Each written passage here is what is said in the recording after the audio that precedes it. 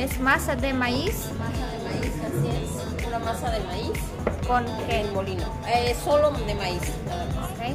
Después podemos así. Tienes que poner así en el fuego. Fuego en el comal. Sopes. Sopes.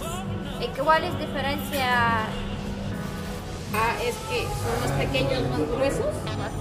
Y esos son más grandes y más delgados. Ok. Bien, gracias. Huitlacoche es el hongo del maíz.